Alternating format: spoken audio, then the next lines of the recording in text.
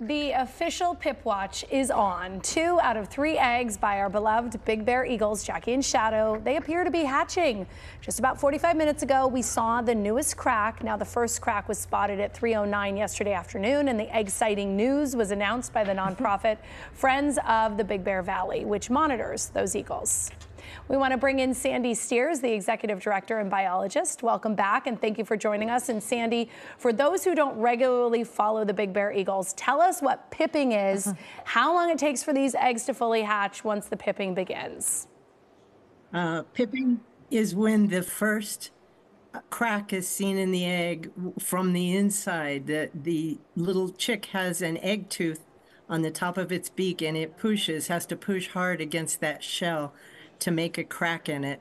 And then it has to work to expand that crack around the shell enough that it can get out. It can take uh, from a day up to three days sometimes for it to get completely out of the shell once it starts hatching. I didn't realize it's such a process. Yeah, it's, it's hard work. It's so cool. So can you It is. Can you put us through some of the key stages of hatching, some of the signs of a healthy pip versus maybe a potential problem? I mean, 1 to 3 days, that it's doing a lot of work. It is doing a lot of work, and sometimes it has to rest for, you know, 12 hours or more just to uh, basically recover from pushing its the hole in the next section of the shell. Uh, the first thing it did was to, before it could even open the shell, was to break the inner lining, the membrane.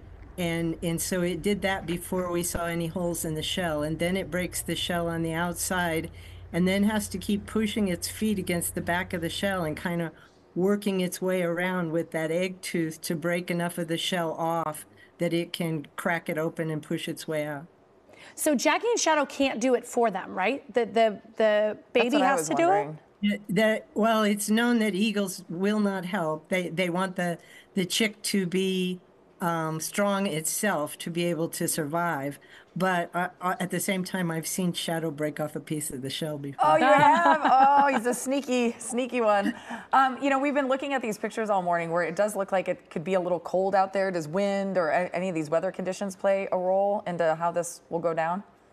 No, they will. They will keep the eggs fully warm and covered and as you see them doing and it so that is not a problem. It's actually warmer than a lot of times when the the eggs have hatched so that should be fine.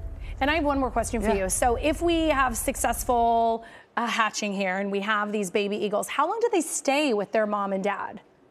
It from 10 to 14 weeks Oh. They stay in the nest and they get fed and everything, but they grow from a few inches up to over three feet tall wow. in that short amount of time. And uh, so that the, you'll see lots of feeding and things like that from Jackie and Shadow, but in, they have to be fully grown physically before they can fly. So that's 10 to 14 weeks before they can leave the nest. And then do they all stick together for a period of time or do, do the babies go the, off? The chicks probably won't. They'll go different directions, but Jackie and Shadow will keep track of of all of them and make sure they're getting food and teach them how to catch their own food and things like that. So it's an education process for a couple months. Wow. It feels like teenagers. Like they leave the nest, but we still follow yeah. them around to make sure exactly. they're okay. Yeah. Sandy Steers, thank you so much for coming on this morning. Thank you.